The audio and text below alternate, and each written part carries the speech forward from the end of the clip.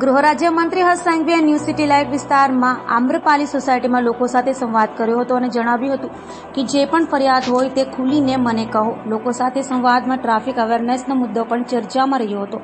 સાથે હર્ષ સાંઘવીએ કહ્યું હતું કે રોંગ સાઇડમાં ના આવવું અને જે નિયમ તોડશે તેને સ્લેટ પકડવી પડશે.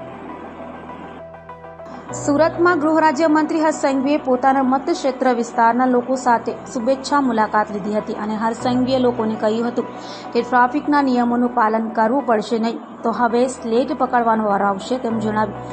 કાયદાનું પાલન કરવા ગૃહમંત્રી હર્ષ સંઘવીએ લોકોને અપીલ કરી છે.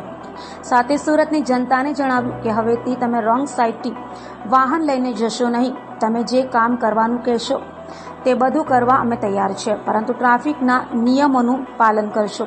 લોકોને હસંગવે દિલ ખોલી ફરિયાદ કરવા જણાવ્યું હતું.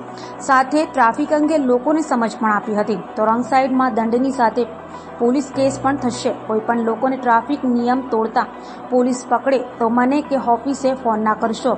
અમે ટ્રાફિકના નિયમન તોડનારની કોઈ મદદ નહીં કરીએ.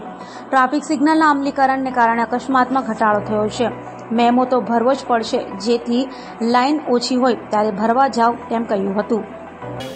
તમને કદાચ મારી વાત નહીં ગમે, તમે જે કામ કહેશો એ બધું જ કરવા તૈયાર છું. પણ રોંગ સાઈડમાં પોલીસ પકડે તો મારી ઓફિસમાં કે મને ફોન નહીં કરતા, કારણ કે હું નહીં શકું. મારું કોઈ માનશે નહીં, કારણ કે મેં એ લોકોને કહ્યું છે કે મારી ઓફિસથી બી ફોન આવે, કોઈ બી ચૂંટાયેલા પ્રતિનિધિનો ફોન આવે, કોઈ બી મોટા સાહેબનો ફોન આવે, કોઈને છોડતા નહીં એકવાર માટે. આપણે રોંગ સાઈડ પર જઈને આપણા પરિવાર માટે ઘાટક નથી બનવાનું.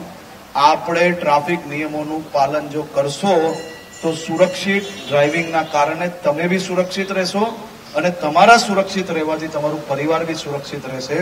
એટલે રોંગ સાઈડની અંદર હવે ચલાન નહીં ફાડશે હવે ચલાન નહીં ફાડશે રોંગ સાઈડની અંદર પોલીસ કેસો કરવાના ચાલુ કર્યા છે. એટલે સ્લેટ પકડવી બહુ ભારી પડશે. એટલે કોઈ બી રોંગ સાઈડ પર જતા નહીં.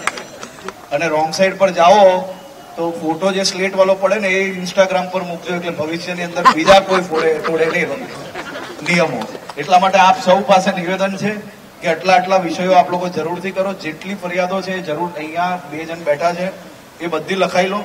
અને એ ફરિયાદોને હું અહીંયા જ બેઠો છું ભાઈ. અને એ ફરિયાદો જે કઈ છે, એના માટે કાલે અહીંયા અધિકારીઓ આવીને બધી જ સોસાયટીઓની જેટલી અલગ અલગ સોસાયટી વાળા આવેલા છે